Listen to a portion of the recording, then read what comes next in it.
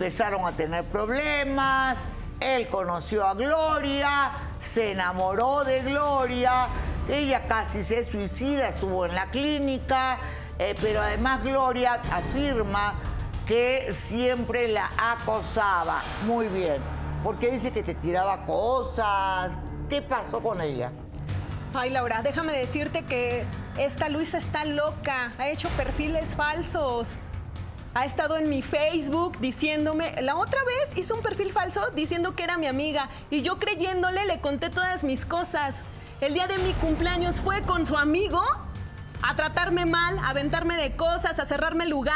Todavía Osvaldo no llegaba. ¿Por qué? Porque estaba trabajando. Yo me No, yo adelanté. fui a buscarlo Ah, a él, ¿sí? yo no fui a verte a ti, En y a mi mí ni siquiera me cumpleaños. interesa. Tuve que cambiar mi número telefónico para que me dejaras de fregar. Pues si me gritas, obviamente yo voy a responder. ¿Qué quieres que me quede ¿Y así? qué querías? sí, pobrecita, pobre, pobrecita, ¿no? Feliz cumpleaños, ¿no? Que te lleve tu pastel después Debes de que, entender, Luisa, de yo que te no te quité a tu novio. Ustedes ya tenían problemas. No es cierto. Yo vine a trabajar metiste. primero con él y tú, tú le hablabas, lo- le decías cosas, le decías que te ibas a matar, le ibas a clavar un cuchillo. Los Ah, ¿no te acuerdas eso? empezaron por tu ¿No te acuerdas de eso? Por mi culpa. Ni siquiera sabes de lo que teníamos pasó. problemas. Ni siquiera sabes ya lo que teníamos problemas, Luisa. por di, di la verdad. Ya teníamos problemas Pues antes problemas de que yo conociera todos. a Todas las parejas tienen problemas. To- to- todas sí, las claro, parejas. todas las y parejas si tienen realmente problemas. amas a pero alguien, de ahí, luchas por de, él. de ahí a tomar un cuchillo, por favor, o sea, me dirás. Él me cuenta todo, me contó todo el infierno cuchillo. que vivió contigo Sí, tres te- años. Claro, te dijo que la empujé, que claro, obviamente la empujé si tenía un cuchillo en la mano, lógicamente. Yo también perseguía a mi novio con cuchillo. Y mío era un cuchillo de cocina. Y de verdad no, no le hice nada, nada, por supuesto, ¿no? Nada, absolutamente, no pasó nada. El pobre casi se muere, pero sí a veces uno, en una situación así de desesperación, cuando quiere mucho a alguien, puede pasarle, ¿verdad? Obviamente es lo que nunca se debe hacer. Pero ¿por qué llegar a esos extremos? ¿Por qué no cortar por lo sano? ¿Por qué no evitar, ay, me voy a matar, chantajear? No. Y tú, cortar la relación y no darle esperanza. Al principio, lógicamente, Laura, yo, me sentía mal. Yo decía, bueno, sí, teníamos tres años de relación. Y bueno, de una forma u otra quizás también intenté de que las cosas terminaran bien, pero nunca se pide, nunca se pudo. No es cierto, tú me decías que me amabas, que querías seguir viéndome. O sea, imagínate, imagínate hasta dónde llega que cuando, o sea, vivimos un año juntos. Un año en el que todo fue mágico, año y medio más o menos que fue el tiempo, este que estuvimos bien. ¿No? Sin Y problemas. ahí, bueno. Y después él se quiso separar. Tuvimos un problema bien fuerte. Él empezó a meter todas mis cosas en bolsas, en bolsas negras. Yo no sé si con su hermano o con su mamá. Imagínate, así me sacó de la casa en la que vivíamos, de la casa en la que yo le pagué la renta tantas veces. Sí, Luisa. Y entonces agarró mis cosas, las aventó en bolsas Sí, negras Luisa, como si fueran claro, basura y las aventó y las dejó allá afuera. Imagínate que yo llego con mi mamá porque según íbamos a comer y todas mis cosas afuera, Laura. Sí, Luisa, está bien. Muy buena esa parte que está Ajá, contando. y después de eso nos separamos y toda- cállate, cuen- cuéntale cuando me quemaste toda mi ropa. Ay, qué enfermo. No. Sea, por favor. Psicópata. Cuéntale, cuéntale cuando me dejaste sin una ropa, sin ¿Eso es una camisa, sin un pantalón. Nuestro hogar ardió porque tú me sacaste. Ya, porque tú me corriste. Y eso era muy todavía- buen motivo, muy buen motivo para que me quemara toda mi ropa. Y claro, sí, sí, Laura, sí le dije, te amo, pero por lo mismo que te amo, quiero dejar esto hasta aquí. Ah, hasta aquí. Era una relación tóxica, Ya. enferma. No, no, esa relación no funciona. Quería No seguir funcionaba. viéndome No, no, separados. no, no, no, no. Quería dejar las cosas bien contigo, pero nunca se pudo, nunca se pudo. Te dije, te amo, y por la misma razón que te amo, te de- quiero dejar tranquila. Te quiero dejar en paz. Ah, no sí solamente te pedí no vivir disculpas, conmigo, claro que pero te pedí sí. disculpas por mi parte. Pero sí verme, ¿no? Cuando quieres saciar tu hambre de hombre, ¿no? No. ¡Ah! ¡Auxilio! Aún ¿Pero cómo? separados, ¿no? Separados, pero me iba a buscar a mi casa y me decía, no, es que yo te necesito. No, no. Y me necesitaba en ese momento, nada más para saciar sus necesidades ¿Qué? corporales, Ay, ¿no? ¿cómo y crees? cuando ya no me quería, ya se iba, ¿no? No, no, por favor. Hasta que encontró a una más nalgona. Típico de ti, típico de ti. Que tengas que inventar una Yo no tengo película que inventar nada. fantástica. ¿En dónde me ves la cara de mentirosa? A mí no me digas Por mentirosa, porque Claro, yo puedo ser porque- todo mal hablada, claro, lo que no quieras, pero nunca una no mentirosa. fueron mentiras todas las veces que me Los- dijiste los que te iban a matar y aquí te veo. Los aquí te mentirosos veo. son ustedes. Bueno, pero que sí, sí- sí intentó matarse, estuvo a la Pero clínica. cuando yo llegue salía del trabajo tarde, si no llegas en este momento, en 20 minutos me voy a matar, me voy a quitar la vida. Por tu culpa me desangré. Chantaje. Por tu culpa me desangré. Ay, él no te puso un cuchillo en las no venas te para que te desangraras. Yo no te obligué a hacer eso. Muy bien, pero tú dijiste que habías cambiado. Pues sí, obviamente estoy cambiando.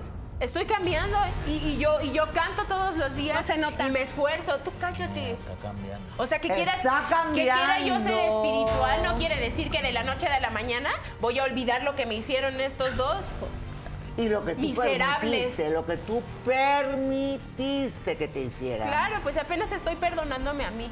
Estoy comprándome mis cosas, haciendo mis cosas por mí, saliendo adelante por mí. Yo no necesito que venga y que me lleve a restaurantes porque Pero- yo lo hacía por él. Ya no lo quieres entonces.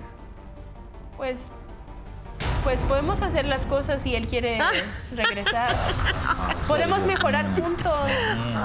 Porque- Las cosas que haces con tu amigo, mejor. Luisa, por favor. Nos quieren No, de matar. verdad, de Laura, no nos dejan en paz, no nos dejan ser Un felices. paso para adelante y diez pasos para atrás, querida. No, pero es que yo estoy ¿Cómo puedes tú permitir que un hombre que está con otra mujer, ya, ya eso ya no sirve, es basura, ya, mu- muerto. Pero podemos cambiar juntos. Si realmente nos amamos, podemos superar cualquier cosa. Creo que las terapias no le hicieron prueba. efecto. Perdón, linda, pero no le hicieron efecto. Estás viendo que está con ella. Y estoy feliz, Laura. ¿Cómo Estoy es la feliz. relación de ustedes, Gloria? Ay, Laura, pues sí es difícil estando Luis atrás, su expareja. O sea, tú sabes que una exnovia, más ella que, no sé, tiene una enfermedad, es psicópata, luego con su amigo nos planean muchas cosas. Yo ya estoy harta, se lo he dicho a Osvaldo, que no puedo seguir así. No puedo seguir así. Ah, Pero por eso ¿cuál te es vas tu a quejar con tus amor, yo no- amigos, o sea, ¿no? yo sé ¿Ah, la- sí? ¿Sí? Cuenta. Cuenta en público todo lo que has hecho, aparte de las llamadas, aparte de las redes sociales, ¿Que aparte de seguirte querer para ver cómo lo matarme, engañas? aparte de quererme matar en el carro de tu amigo. Ella te engaña. Sí, yo te seguí. Ah, sí, tú me te- seguiste. Te vi hablando Ah, con sí, otra ah, persona, yo no sé quién. Sí, sí, sí. ¿Sabes que yo no me mira, quise esa- quedar? esas son, Mira. mira. típico, típico, las historias fantásticas. Ah. Muy bien, que pase Rogelio, amigo de Luisa, que fue el que dice que la sacó de la muerte. Ah. Me salvó de la muerte, la Tal para cual. Una maravilla de persona.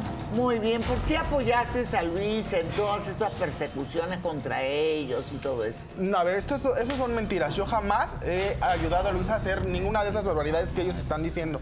Este desgraciado, desde el principio, desde que No me- empezaron no me a ser amigos, empezó a aprovecharse de la bondad de Luisa. Empezó a pedirle dinero, a hacerse pobrecito para que ella le pagara hasta, hasta los materiales de la universidad.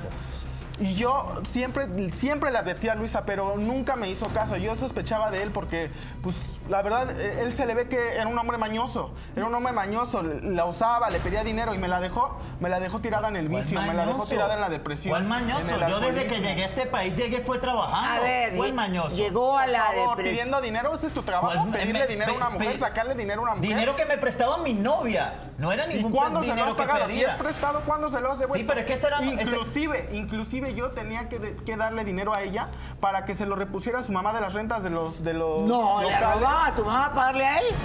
Porque Pues siempre no él lo se hacía que robaba, no tenía era para dinero que me correspondía. Ay, no. Lo tomaba de Yo la nunca caja. le pedí que hiciera eso. Yo nunca le pedí que hiciera Ah, eso. ¿no me ¿Y tú pediste sabes que te cuál es diera la dinero? Pero se lo recibías, que era lo mismo, y sabías de ahora dónde que me está ese yendo dinero. bien aquí en este país, ahora que me va bien. Te olvidas esta- de mí. Ahora que me va Ahora bien que la somos dejas. felices, ahora que somos esta felices mujer son unos no me alacranes pide ustedes. nada Mira, y por eso la ayudo. Mira, Laura. No me saca nada, me apoya, habla conmigo, comunicación, cosa que nunca tuve contigo. Ah, sí. Pues dicen que la fidelidad de una mujer se mide cuando él no tiene nada. Y la de un hombre cuando él tiene todo. Y yo no soy, tú no eres fiel porque tú me olvidaste cuando tenías todo. Te fuiste con otra cuando tenías todo. Y cuando no tenías nada, ahí sí me buscabas, ¿no?